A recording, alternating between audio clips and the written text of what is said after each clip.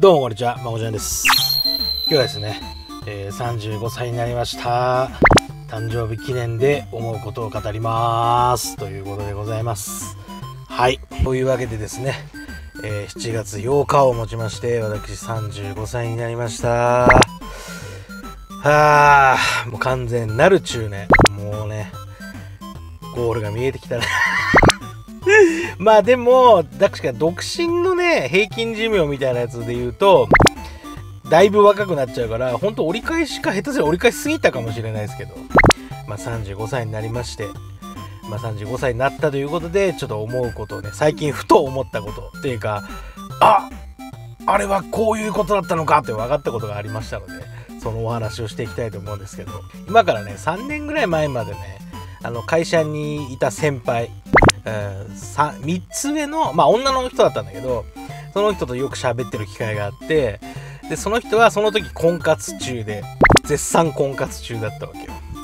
でけでまあ要は結婚したがってたわけだよね、うん、でそれに対して俺が「なんで結婚したいんですか?」とかいろい結構聞いてたりしてたんだけどまあそんなにその人子供も好きじゃないからまあ子供は欲しいっつってたけどまあでも結婚するこう理由を突き詰めてったら自分自身のために生きるのに飽きたみたいなこと言っててなんて得の高いこと言ってんだと俺は。その時も突っ込んでねいやそめちゃめちゃ得高くないっすか？みたいな感じで言ってたんだけどまあそっからえっ、と何年あ3年前じゃねえな。もっと前かなその話したの。で多分今から3年ぐらい前に結婚されて。今じゃ多分ね子供もいて幸せな家庭を築いてるんだけどそっから3年まあ3年よりもしかしたら経って多分その人その独身時代だとその人と同じ年に多分俺がなったのよ。った時にその一人自分のために生きるのに飽きたっていうことに対して最近めちゃめちゃ意味がわかるようになった。っていう。あ、ごめんなさいね。今日はね、あの、若い人にはさっぱりわかんない話かもしれない。うん。それはこれ20代とか10代とかもちろんだけど、20代とか言われてもわかんないと思うんですけど、まあ、この多分動画の視聴者層的には30代、同じ同世代か、それより上ぐらいと多いんで、もしかしたらわかる人の方が多いと思うんで、ちょっと今日は喋ってるんですけど、で、ごめんなさい、話戻りますけど、そう、その、得が高くてそう言ってたんじゃないんですよ。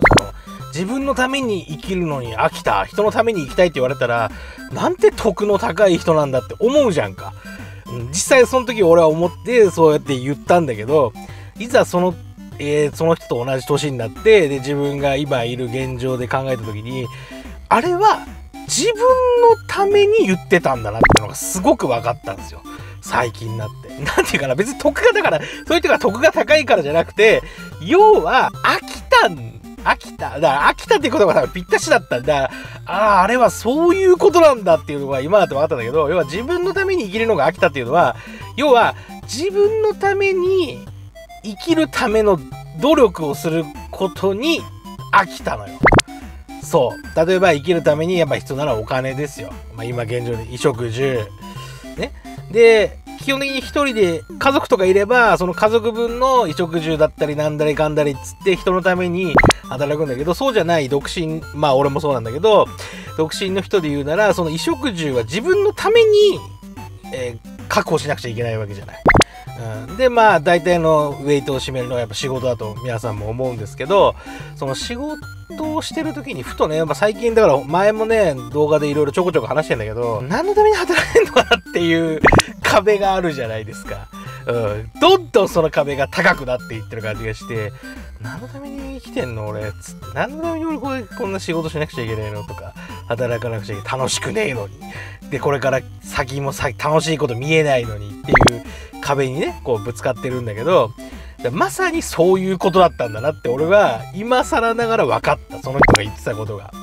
で要は自分のために生きるのに飽きたっつのは崇高な意味じゃなくて単純に自分自身のために生きるための行動をすることに飽きてたの。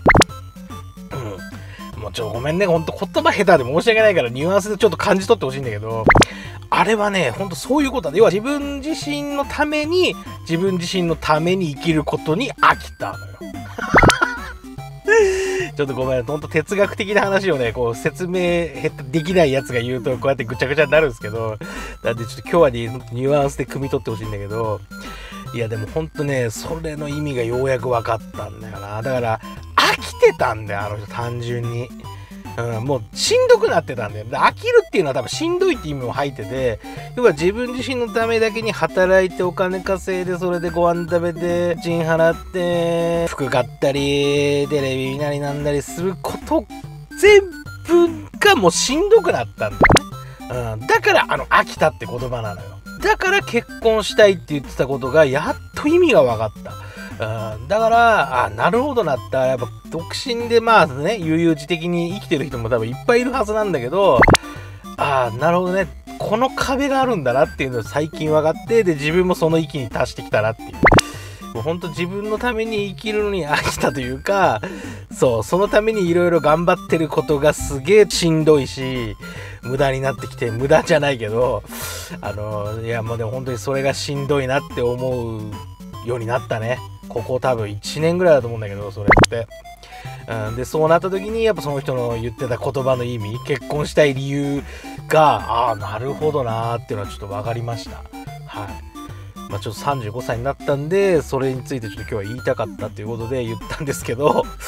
伝わってないと思います。ごめんなさい。ほんと自分で喋ってて下手くそだなって思う。でも今日はね、これいい話なのよ。いい話。だできれば、この意味が分かってない人にこれが伝われば、まあ伝わったところで正直どうしようもないっちゃないんだけど、多分その年になった時に気づくようなことだから、うん、ですごく深い話だったなって思うんだよね。うん、最大限テロップで補足入れたいと思うけど、多分伝わらなかったら無理。これ以上、俺にはこう、分かりやすく、あの、ちょっと皆さんにフィードバックできないんですけど、要は自分のために生きるのに飽きた人間が結婚する結婚した動結婚する動機としてありなんだなって思った。自分だけのために生きる人生に飽きるっていうのはああちょっとわかるなっていうのが35歳になって思うことですね。はい。うん多分これ若いと絶対わかんないと思うんだけど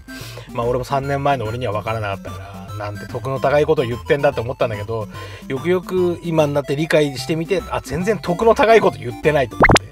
それも多分自分そう要は自分が生きる目標目的を探してたんだなっていうそのために結婚をその人は選んだんだなっていうのが今になって思う分かったね。なるほどね。結婚をそうやって考えるのかっていうのは要はその時には分からなかったけど3年遅れて理解できたなっていう、うん、今結婚して幸せになってるっぽいからそれはいいことだなって思うけど、そういう意味でのね結婚なんていうのもねちょっと考えていかなくちゃいけないのかな。まあまあそれでもしたいとは思わないんだけど俺は。意味は分かったけどそうだね。まあしたいと思ってすぐできるようなねそのレベルの人間であればいいけどそうじゃないからな。そのハードルを考えるとな、やっぱりその自分自身のために生きるのに飽きたっていうの中では、やっぱ自分個人の人生が満足してるっていう前提もあると思うんだけど、やっぱそこには俺は到底納得してないから、うん、多分大抵の35歳より俺は全然いい35年を歩んでないっていう自負があるから、その、その、本当はそこが中身濃くなるはずの20代とか、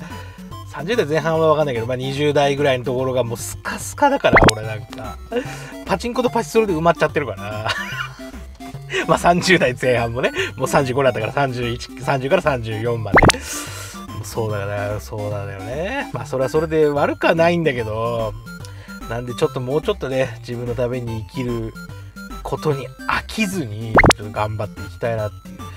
うんそこに飽きまあでも飽きてきてはいると思うよ。やっぱりしんどいもんね。何のために俺はこうやって朝早く起きて仕事行ってやんなくちゃいけないの？俺はとか思うもん。何のためにやってんのかなっていう、うん、それはもう日に日にというかまあ年々というかそれはその心の壁壁というかハードルか。ハードルは高くなってってんなって思いますけど。多分今のところもうちょっと抗って自分のために自分のためだけに生きたいと思うんですけど。まあまたね。まあでもまあそうだな。はい。まあそんな感じですか。全然まとまってないですけど。はい。とりあえず35歳の誕生日になりまして今思ってること、まあ、最近になってね理解できたちょっと哲学的な話になるとは思うんだけどについてちょっと今日はお話でございました。はい。まあ少しでもねちょっと本当伝えるの下手で申し訳ないですけど少しでも皆さんに何か伝わってれば幸いでございます。はい。まあとりあえず引き続き YouTube を頑張っていきます。35歳になって35歳でも40でも頑張っていく所存でございますので引き続きね、えー高評価チャンネル登録等で応援いただければ幸いでございます。はい。最後までご覧いただきありがとうございました。チャンネル登録してあげますと今度ビュー録れますのでどうぞよろしくお願いいたします。それでは。